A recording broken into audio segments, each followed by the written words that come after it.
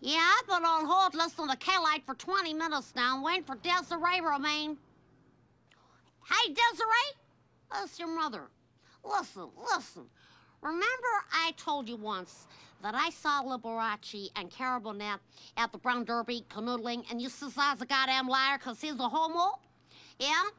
Well, let me read you something. Let me read you something from this week's newspaper, okay? Now, it can be told.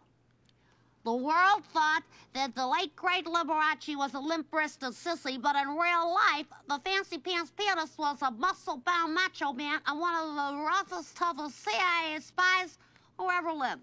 Huh? Well, listen to this. Liberace once captured six Soviet agents single-handedly, using nothing but his fists and his flying feet.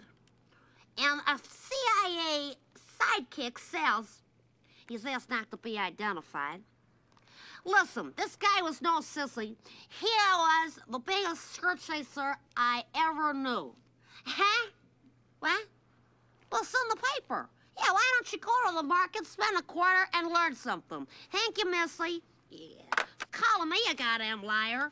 Hell. Whoa! -ho! They're keeping Sonny Bono alive in a nine-foot jar. Oh, my God, look at them bobbing up and down in there.